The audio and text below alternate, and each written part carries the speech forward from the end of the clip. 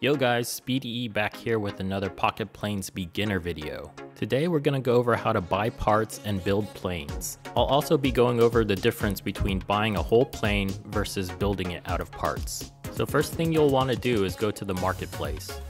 Here you'll see a mix of planes and also parts. You can buy the individual parts or the whole plane using bucks. Planes are made out of three different parts, a body, control, and engine. If you go into the parts menu, you can see the parts that you already own.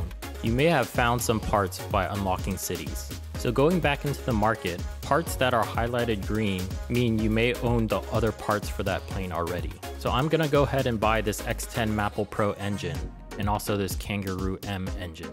And now when I go into my parts, I can see I have all three parts for the X10 Maple Pro. Now clicking on the build button, you can see that I can now build the X10 Maple Pro using 6 bucks. So now you may be asking what are the advantages of building a plane over buying the whole plane outright. Buying a whole plane will always cost more bucks than building it yourself. Looking at the Pocket Planes wiki for reference, you can see it costs 24 bucks total to build a plane, while buying the whole plane from the marketplace costs 7 bucks more. The parts and the planes that appear in the marketplace will refresh every 12 minutes. So if you can be patient and wait for the parts that you need, it's always cheaper to build a plane than to buy one outright. Let me know down in the comments what plane you're hoping to build soon.